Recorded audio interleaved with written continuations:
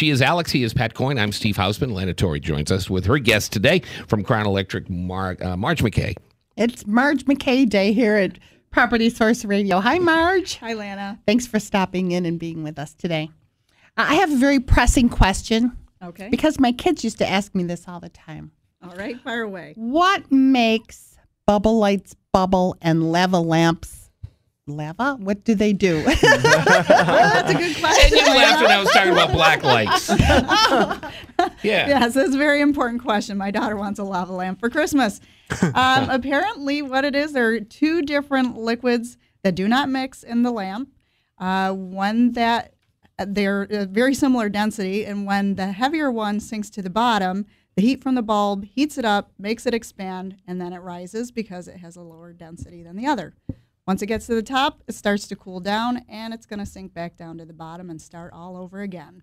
what an hmm. invention. I Who, wish yeah, I had invented who in the world thought of that? Thought don't of know. that. How far down the tequila bottle were they? Well, it wasn't in the 60s. Was it Thomas Edison, do you think? Right, I don't yeah. think so. Did they, you know, they had crack back then. yeah. Do you know those lava lamps came back? Oh, yeah. My Oh son, yeah, I asked for one Yeah. for Christmas one year. My mother was like, "No, absolutely not. What do you think this is? Are you some kind of hippie?"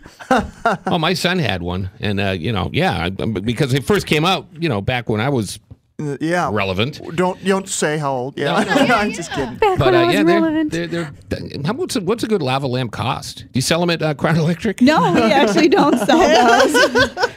We used to go to uh, what was the place at the mall? Uh, Oh, yeah. uh, Spencer's. Spencer Gifts. Yeah. Oh, yeah. Spencer, remember Spencer Gifts? Oh yeah. yeah. Oh, Hey, yeah. uh, I've got a quick question about chandeliers. It just popped in my head. I've got a crystal-looking chandelier. How do I know if it's real or not? Or if I were to buy one, if it's real crystals or fake glass? Um, they're all crystal one way or another, but they're different grades of crystal. Okay. Uh, if you're buying a Swarovski Strass crystal, you are going to know because the price is going to be double or triple. anything Okay. else Pay you for buy. it, Pat. well, no, I've got this this beautiful one in my dining room, but I just don't know if it's real or if it's just a knockoff. And it just Well, take off a piece of crystal and throw it on the floor, and if it breaks into a million thanks, Lana.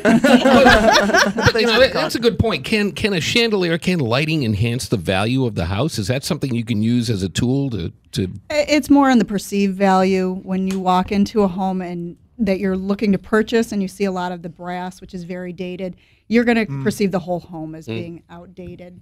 And, and if you walk in and you see all the current trends and the flexible lighting, Oh, yeah, cool LED, stuff. and you know under cabinet, all those things, you know that that home was well maintained. Brass has got to go, I guess. Brass in has gotta go. I'm a big fan of outdoor lighting. You know, I have a spotlight that I have under a tree, big tall tree, and at night it just highlights the tree, and I think it just looks great. It does. Uh, timers are a pain in the neck, but uh, they now have. And my handyman, Bob, the handyman, has put in some new lights with uh, with timers that are uh, based on sunrise and sunset, which is great. Yeah, that's That's pretty the best way to do it. Yeah, Isn't that cool? but outdoor lighting, I think, is the best. It's I beautiful. do. Again, it it, it enhances the outside of your home. That's the first thing people see even before they walk in. Mm-hmm. I'm not a fan of those solar uh, lights that you put next to your walkway. No, they don't give you a lot of light. After all, we are in Rochester. Yeah. We don't get that much sunlight to power them in the first place. From now till April. From now Just to just a reminder. Summer's not too bad, but if you want a little accent light, very inexpensive and easy to put in, that's great. Yeah, I think they're, you know, I think anything you can do to give your home a little bit more curb appeal is uh, is a wonderful thing. Uh, the the lighting, especially, you know, my husband put out some lights over the weekend, and uh, they're already plugged in. I, I get a little excited when I come home at night and I see the house lit up. Yeah. It's, uh, it's such a good feeling. It makes such a warmer feeling. But I wanted to talk to you. I know our time is getting at, at hand here. I wanted to talk to you about um, because I've had some clients ask me these questions, and I think it's important to like set the record straight. Let's talk about mercury in fluorescent bulbs. Okay, there there is mercury in the compact fluorescent bulbs or any fluorescent bulb, but in the CFLs, that mercury, that amalgam tablet that contains mercury and many other things, is smaller than the size of a ballpoint pen. And once you fire up that bulb for the first time, it is the majority of it is permanently fused to the glass. It is more safe in your home than you know, oh. you don't. If you break it, you're going to have to clean up properly. Pick it up with a, a damp towel and put it in a plastic bag. Throw it out. But it's safer in your home than than you would think. People are very concerned about it. However, the incandescent bulbs you're using and the greenhouse gases actually puts out more mercury. You're actually Hmm. helping the environment with these CFL bulbs. And is it mercury in those? You know, the kids wear those little lighted sneakers when they It walk, is. and they have those little Oh, flashy yeah, yeah. lights. It is. It have and, mercury in them. And also, if you wear makeup, you are putting mercury directly onto your skin.